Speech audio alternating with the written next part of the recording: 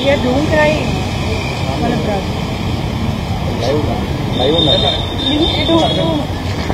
సరే ధైర్యం తెచ్చుకుని మీరు కంప్లైంట్ ఇచ్చారు కదా మీకు ఏ- ఏ విధంగా థ్రెట్ ఉందండి? ఆల్వీతో ఏ విధంగా థ్రెట్ ఉంది అది చెప్పండి. లేదండి నన్ను ఇప్పుడు ఫైనల్గా తను వదిలించుకోవాలి అనుకుంటున్నాడు. వదిలించుకోవడానికి ఇదంతా చేస్తున్నాడు. మాల్వి మల్హోత్రాతో అఫేర్ ఉంది. అది హండ్రెడ్ పర్సెంట్ నిజం. నా దగ్గర ఎవిడెన్సెస్ కూడా ఉన్నాయి. అతను ఒకవేళ డైరెక్ట్గా నాకు నేను ఇంకో అమ్మాయితో అఫేర్ ఉంది నాకు అని చెప్పున్నా నేను వదిలేసేదాన్ని. కానీ నన్ను తప్పుడు దాన్ని చేసి అతను వెళ్ళిపోతే నేను బతకలేను సొసైటీలో తలెత్తుకొని. ఈ డ్రగ్స్ కేసుకి దానికి కూడా నాకు సంబంధం లేదు. ఇది ఒక ఒక అమ్మాయిగా నేను ఎంత భరించకూడదో అంత భరించి హెల్త్ చూసేస్తున్నాను దానికి తోడు యూట్యూబ్లో కమెంట్స్ ఇవన్నీ కూడా వస్తున్నాయి. ఇంకా అవన్నీ వద్దు ప్లీజ్ ముఖ్యంగా మీకు రాజ్ తరుణ్ రిలేషన్ ఏ విధంగా ఉండదు? అసలు ఇక్కడ ఏం జరిగింది అసలు? మేము ఒక ఫోర్టీన్ ఇయర్స్ నుంచి రిలేషన్షిప్లో ఉన్నామండి. అండ్ లెవెన్ ఇయర్స్ నుంచి టుగెదర్ లివింగ్ రిలేషన్షిప్లో ఉన్నాం. గుడిలో తాళి కట్టడం అయితే జరిగింది. కాకపోతే పెద్దవాళ్ళ లవ్ మ్యారేజ్ అవ్వడంతో రిజిస్టర్ అనేది చేసుకోలేదు. సో అతను అతని కన్సిడరేషన్లో లివింగ్ రిలేషన్షిప్ అంటే I agree to that point ఎప్పటి నుంచి ఉంటూ అవార్డ్ దూరం అన్నది అయితే ఏం లేదండి. మాల్వి వచ్చిన తర్వాత డిస్టర్బెన్సెస్ వల్ల నాతో మాట్లాడడం మానేశాడు. అంటే గొడవలు అయ్యేవి మాకు. మీరు అనుకుంటున్నారా? లేకపోతే మరి ఆమెకి నేనుంటే ఏం ప్రాబ్లమో నాకు తెలియదు ఒకవేళ ఒక కపుల్కి అఫేర్ ఉన్నా సరే అతని లైఫ్లో ఏది ఉందో అది యాక్సెప్ట్ చేసి మరి ఆ ఉమెన్ ఉండాలి అంత ఓపెన్గా ఉన్నప్పుడు ఒక వన్ మంత్ తర్వాత ఆమె రాజ్కి ప్రెషర్ ప్రెజర్ ఇవ్వడం స్టార్ట్ చేసింది. దట్ లావణ్య షుడ్ గో వైఈసీ స్టేయింగ్ అన్న దగ్గర. సో అది నాకు రాజ్ ఇండైరెక్ట్గా గొడవ పడేవాడు. రాజ్ ఇండైరెక్ట్గా గొడవ పడేవాడు నాతో. అండ్ ఒక వన్ టూ మంత్స్ తర్వాత మాల్వీ ద రీజన్ అని నాకు అర్థమైంది. మాల్వి మల్హోత్రా మీరు కాల్ చేసిన సమయంలో మిమ్మల్ని బెదిరించారని మీరు ఒక కంప్లైంట్ అవును. అసలు మీరు కాల్ మాట్లాడినప్పుడు వాళ్ళు ఏమని మిమ్మల్ని బెదిరించారు? మాల్వి మల్హోత్రా కాదు వాళ్ళ సోదరుడి పైన మీరు ఇచ్చినటువంటి కంప్లైంట్లో సారాంశం ఏంటి. ఏవండి అది ఒక్క కాల్తో ఎప్పుడూ జరగలేదు. చాలా కాల్స్ అన్నవి. ఎందుకంటే ఒక ఫోర్ మంత్స్ నుంచి ఫైవ్ మంత్స్ నుంచి ఫోర్ మంత్స్ నుంచి ఫైవ్ మంత్స్ నుంచి డిస్కషన్ అన్నది జరుగుతుంది. ఒకటి ఒకటి ఒకటి అని చెప్పలేము కదండి. నాకు అండ్ ఇంత కెమెరాస్ ఇదంతా నాకు అలవాటు కూడా లేదు.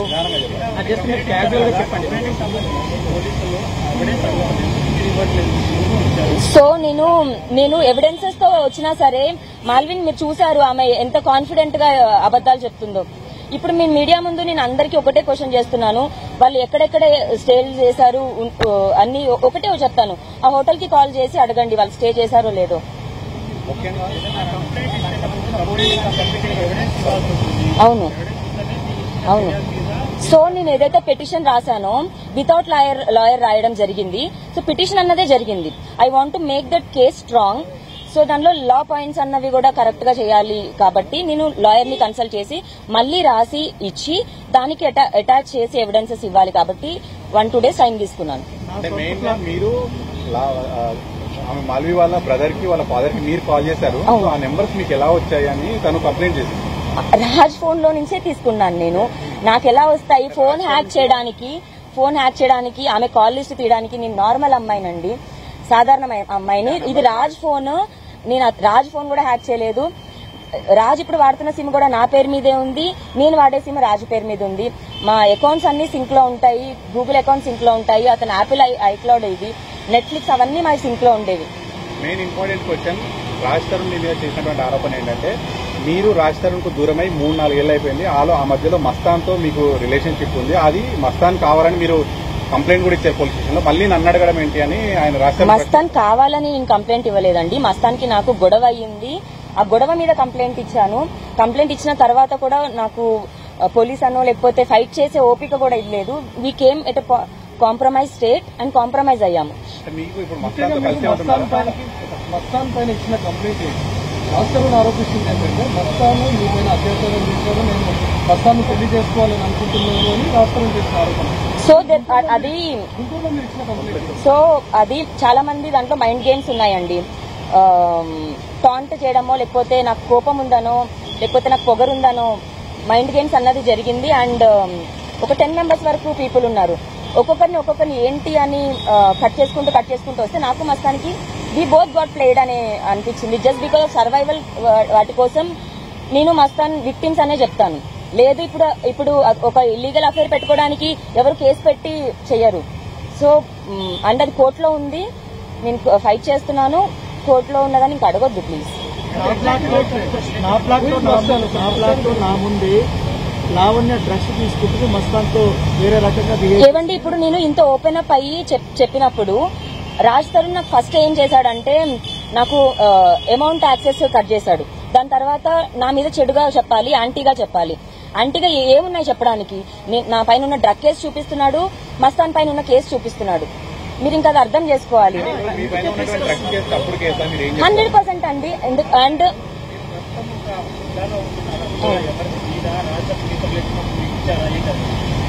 రాస్తారు నాకు అలా ఇవ్వడం ఏమి కాదండి. మేము అతను నా మెడలో ఎప్పుడైతే తాళి కట్టాడో అప్పటి నుంచి టూ థౌసండ్ ఫోర్టీన్ నుంచి మేము రెంటెడ్ హౌసెస్లో ఉన్నాం. ఇది ట్వంటీ ట్వంటీ జాన్లో షిఫ్ట్ అయ్యాము. ట్వంటీ ట్వంటీ జాన్లో షిఫ్ట్ అయ్యాము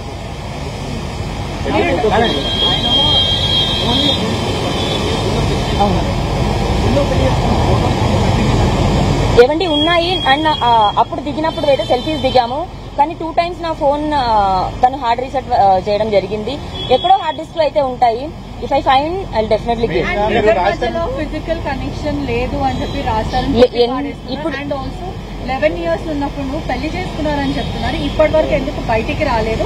అంటే ఏదైతే మీడియాకే గానీ లేకపోతే సొసైటీకి ఎందుకు రాస్తారు మిమ్మల్ని పరిచయం చేయలేదు. ఒకవేళ లెవెన్ ఇయర్స్ పెళ్ళి చేసుకున్నట్టు ఇప్పటికి పిల్లలు కూడా ఉంటారు కదా అనేది ఒక క్వశ్చన్ సో మేము నేను ఇప్పుడు అతను హీరో అయ్యాక రాలేదు అతని లైఫ్లోకి అతను వైజాగ్లో ఉన్నప్పటి నుంచి మేము పరిచయం మాకు. అండ్ తను ఉయ్యాల జంపాల సినిమాకి ఏడీగా వర్క్ చేస్తున్నప్పుడు కూడా మేము కలిసే ఉండేవాళ్ళం అంటే పక్క పక్కన ఫ్లాట్. ఇంకా మీకు తెలుసు కొత్త హీరో ఇప్పుడు నేను ఒకటి ప్రాబ్లం అవ్వద్దు అని నేను కోరుకుంటాను. అండ్ అతను కూడా అప్పుడే చెప్పొద్దు will take the time and will let people know అని చెప్పారు. రాజ్ తరుణ్ పదే పదే చెప్తున్నాడు. రాజ్ తరుణ్ ప్లాట్లో మీరు డ్రగ్స్ తీసుకుంటారు. ఎన్నిసార్లు వారు drug addict ఎన్నిసార్లు చెప్పినా అమ్మాయి వినడం లేదని. కానీ మీరు చెప్తున్నారు కావాలని ఉద్దేశపూర్వకంగా ఈ కేసులో ఇరికించారు ఏమండి? రాజ్ తరుణ్ ఏమన్నా- ఏవండి? నన్ను వదిలించుకోవాలి. అదే రీజన్ అయితే ఇన్ని పది సంవత్సరాలు ఆగాల్సిన అవసరం లేదు. ఇప్పుడు అదే రాజ్ తరుణ్ మరి మీడియాలో మరి అరెస్ట్ అయిన రోజు ఎందుకు వచ్చి చెప్పలేదు ఇదే మాట? ఇదే మాట రాజ్ తరుణ్ ఆ రోజు అరెస్ట్ అయినప్పుడు ఎందుకు బయటకు వచ్చి చెప్పలేదు? అప్పుడే చెప్పేసి ఉంటే జైలు నుంచి బయటకు వచ్చాక కూడా ఇదంతా ఉండేది కాదు కదా. లేదు లేదు లేదండి. ఇప్పుడు ఇప్పుడు నేను అతని మీద కోపంతో అన్యాయంగా అయితే చెప్పాల్సిన అవసరం లేదు. అండ్ అతను ఎవరైనా జాయింట్ అలా స్మోక్ చేసినా అలా వెళ్ళిపోతాడు. Is that kind of person నేను నాకు రాష్ట్రం లేకుండా నేను బతకలేనండి. నేను నాకు నేను ఏమో నేను నాకు నేను ముసల్దాన్ని అయిపోయినా అతనే కనిపిస్తాడు అంతే. ఇప్పుడు మాల్వి మల్హోత్రా మీద అసలు మాల్దీ చెప్తాను నాకు రాష్ట్రంలో జస్ట్ కో యాక్టర్ మాత్రం అందుకే అండి నేను నేను నేను మీకు ఏవండి నేను మీకు ఫొటోస్ ఇచ్చాను ఫొటోస్ ఇచ్చాను వీడియోస్ ఇచ్చాను బ్యా- బ్యాంక్ ట్రాన్సాక్షన్స్ ఇస్తాను కాల్ లిస్ట్ ఇస్తాను అండ్ వాళ్ళ హోటల్ స్టే ఇస్తాను. ఇంకా ఇంతకంటే ఇంకేం చెప్పాలి నాకు తెలియదు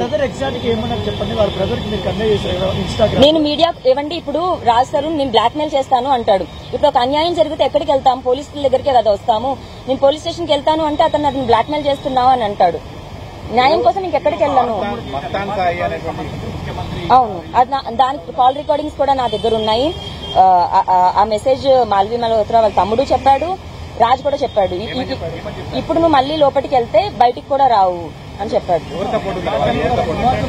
పర్టికులర్గా రాజ్ తరుణ్ నోట్లో నుంచి వచ్చిన డైలాగు వాళ్ళ డాడీ హిమాచల్ సీఎం ఫ్రెండ్ నువ్వు కేసు పెడితే వాళ్ళు పెట్టరు లేకపోతే నువ్వు గొడవ చేస్తే వాళ్ళు చేయరు అనుకుంటున్నావా? ఇమీడియట్గా నెక్స్ట్ సెకండ్ నువ్వు లోపలికి వెళ్తావు అండ్ బయటికి కూడా రావు. ఇది రాశారు నాకు ఇచ్చిన అవును. అని అండి ఏవండి ఎనిమిది నుంచి ఫ్రెండ్ అయ్యాడు. ఇద్దరు వైఫ్ అండ్ హస్బెండ్ ఆ ఫ్రెండ్ ఏ విధంగా వచ్చాడు అసలు మీ ఫ్లాట్లో ఎందుకు ఏవండి అగైన్ మళ్ళీ మీకు చెప్తున్నాను. నేను ఒక పార్టీకి వెళ్ళినప్పుడు ఆ పార్టీలో జరిగిన ఒక మైండ్ గేమ్ గొడవ నుంచి ఒక ఫియర్ వల్ల మాత్రమే నా డివైజెస్లో ఏమంటారు వీడియోస్ తను కాపీ చేసుకున్నాడో లేకపోతే ఎవరో కాపీ చేసుకున్నాడో లేకపోతే తనవి నేను తీసుకున్నాను అన్న ఒక ఇష్యూస్ వల్ల అండ్ అది కోర్టులో ఉంది అది మేము మేము సాల్వ్ చేసుకుంటాం దయచేసి అవును. అవును అవి నేను చెప్తాను అది కొట్టడం ఇది కాదు. సో గుంటూరు నేను వెళ్ళినప్పుడు వాళ్ళ చెల్లి పెళ్ళికి వెళ్ళామండి. రాజ్ తరుణ్ నన్ను ఇన్వైట్ చేశాడు. అండ్ మస్తాన్. అండ్ రాజ్ తరుణ్ ఏదైతే చెప్తున్నాడో అతను ఉండగా మేము ఇంట్లో రూమ్లో ఉన్నాము అన్నది చాలా తప్పు. ఎప్పుడు ఏ రోజు కూడా మేము- నేను మస్తాన్ అలా కపుల్ లాగా కలవడం అన్నది జరగలేదు. ఈవెన్ నా ఫ్రెండ్స్ కానీ రాజ్ తరుణ్ కానీ ఉన్నప్పుడే అతను వచ్చేవాడు. ఇప్పుడు ఇన్విటేషన్ వచ్చి వాళ్ళ చెల్లి పెళ్ళికి అని ఇన్విటేషన్ ఇచ్చాడు. నేను గుంటూరు పెళ్ళికి వెళ్ళాము. అతనికి పీ- వాళ్ళు పీపుల్ నేను వాళ్ళ చెల్లి పెళ్ళి చెడగొట్టడానికి వస్తున్నాను అనుకొని ఒక ఫియర్లో మేము- మాకైన గొడవకి నేను వెళ్ళి కంప్లైంట్ ఇచ్చాను. నా ఫ్రెండ్ అండి mutual friend mutual friend so ఏవండి వరలక్ష్మి టిఫిన్స్ కేసులో అతను ఏ లెవెన్ ఉన్నాడు. నేను సారీ ఏ నైన్ ఉన్నాడు నేను ఏ లెవెన్ ఉన్నాను. మేము ఆ కేసు గురించి మాట్లాడడానికి మాత్రమే మా ఫైట్ లీగల్ది మాత్రమే. ఇప్పుడు అతను రీజన్ చూపించి అంటే నాతో ఎవరు మాట్లాడకూడదండి. ఇప్పుడు నాతో డ్రైవర్ మాట్లాడినా డ్రైవర్తో ఉన్నట్టే ఇంకా. ఇప్పుడు చూపించాలనుకుంటే ఇంకేం చేయాలి? లేదంటే మీరు మస్తాన్తో మాట్లాడండి. ఏవండి? రాజ్ తరుణ్ నాతో డైరెక్ట్గా చెప్పాడు. నువ్వు మీడియాకి ఇలా వెళ్తా అంటే నేను నీకు ఎంత ఆంటీ అవుతాను ఎంత చేయగలను నీకు చూపిస్తాను. నువ్వు మనం కూర్చొని మాట్లాడదామంటే ఇల్లు రాసిస్తాను మెయింటెనెన్స్ ఇస్తాను. లేదు అంటే నీకేం చేయాలో చూపిస్తాను అన్నాడు. నేను ఇల్లు కోసమో డబ్బుల కోసమో అయితే మరి సైలెంట్గా చేసి ఇక్కడ ఈ- పొజిషన్లో నుంచిన దాన్ని అయితే కాదు అదే అండి. అవును, అవును? డెఫినెట్గా ఉంది. అండ్ అతను అఫేర్సే ప్రాబ్లం అయ్యి ఉంటే నేను ఈ- పని అప్- అప్పుడే చేసేదాన్ని పదేళ్ళు వెయిట్ చేసేదాన్ని కాదు. కొన్ని డబ్బుల కోసం అయితే కూడా పదేళ్ళు వెయిట్ చేసేదాన్ని కాదు. ఇప్పుడు వరకు కూడా నే- ఇప్పుడు నా అకౌంట్లో కూడా హండ్రెడ్ రూపీస్ ఉంటాయండి. అతను నాకు ఇచ్చే మనీ ఇంటి ఎక్స్పెన్సెస్ అండ్ సర్వైవల్ కోసం మాత్రమే. చాలా మటుకు డబ్బులు ఇచ్చాను అని రాజుగారు చెప్తున్నాడు. ఎవ్రీథింగ్ తను ఏం బై ప్రొఫెషనల్గా ఏ పని చెయ్యదు. జస్ట్ నేను చాలా డబ్బుల వరకు ఖర్చు పెట్టాను. షీజ్ ద మనీ మైండెడ్ అని ఇప్పుడు అమ్మాయి అబ్బాయిలో అబ్బాయి బయటికి వెళ్ళి పని చేస్తే అమ్మాయి ఇంట్లో నేను చేయాల్సిన దానికంటే ఎక్కువ గొడ్డు చాకరీ చేశాను. ఆ, వర్డ్ వాడాలంటే పదిహేను కుక్కలండి. ఒక కుక్క తర్వాత ఒక కుక్క పదిహేను కుక్కలు తీసుకొచ్చాడు. అతన్ని నేను ఎంత యాక్సెప్ట్ చేశానంటే అతను ఏం చేసినా సరే యాక్సెప్ట్ చేశాను అంత చేశాను.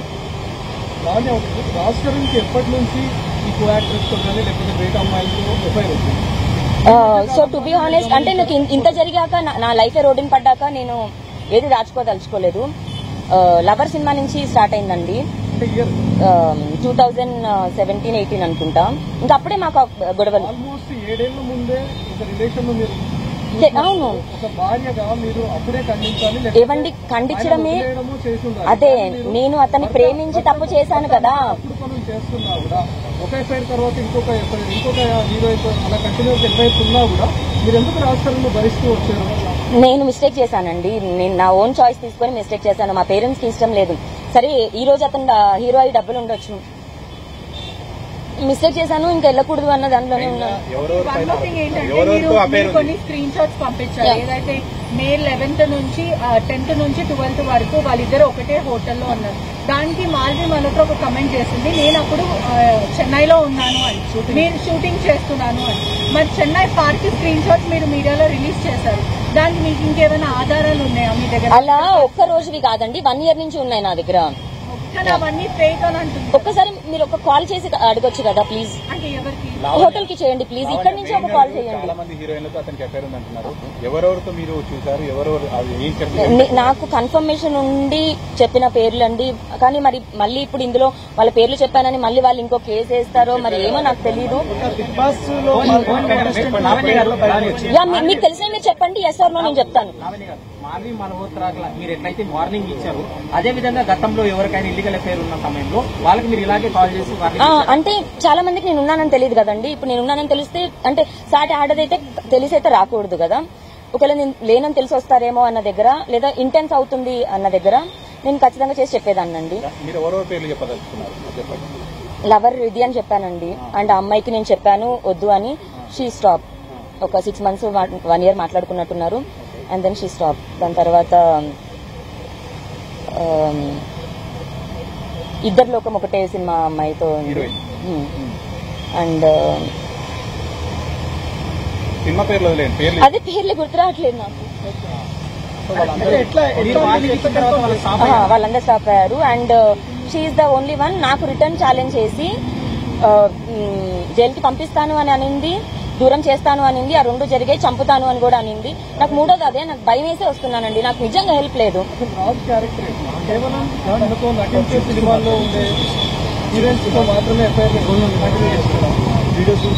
అండ్ ఇప్పుడు మొన్న మే లెవెన్త్ న మొన్న మే లెవెన్త్ న మరి లేరు అని చెప్పారు. Last month Raj Tarun and Malvi. ఎక్కడ అది? చెన్నై హోటల్లో hotel green park.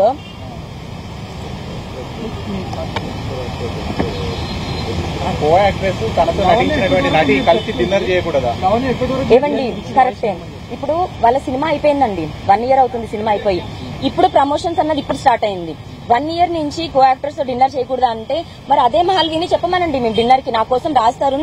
ఒక్కొక్క టికెట్ పదిహేను వేలు పెట్టుకొని అంటే పొద్దున పదిహేను వేలు పెట్టుకొని టికెట్ వెళ్తాడు. ఆ రోజు హోటల్ పదిహేను వేలు మళ్ళీ రాత్రికి వచ్చేస్తాడు. అంటే ఒక రోజు రాస్తారు డెబ్బై వేలు మాల్వి మల్హోత్రాకి ఓన్లీ ఫ్లైట్ టికెట్ ఖర్చు పెడుతున్నాడు. పదిహేను కుక్కలతో నేను ఉండి నేను ఇరవై వేలు అడుగుతుంటే డబ్బులు ఇవ్వనందుకు నేను కేసు పెట్టాను అంటున్నాడు. నేను ఇంకేం బతకాలి? ఎలా బ్రతకాలి?